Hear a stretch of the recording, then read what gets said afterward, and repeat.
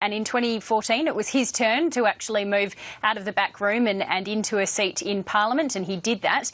But he touched on in his speech how he was very alone in the Labor Party, and I think that's a, a fair description of uh, what I've observed of Joe Bullock's time here in Canberra. Uh, you can often see him alone in the corridors, alone in restaurants, and that is because his views are very different to those of the modern Labor Party, and that was on display as recently as this week when uh, Penny Wong said that she did not agree with his position to say that funding should be stopped for a particular anti-bullying program, the Safe Schools program, which Joe Bullock had said focused too much on homosexual issues. And Penny Wong said that is not the view of the Labor Party and we disagree with Joe Bullock. So it's been building for some time. And as I said, uh, a shock that this decision came tonight, but not surprising, Richard. OK, political reporter Eliza Borrello, thanks for bringing us up to date from Parliament House.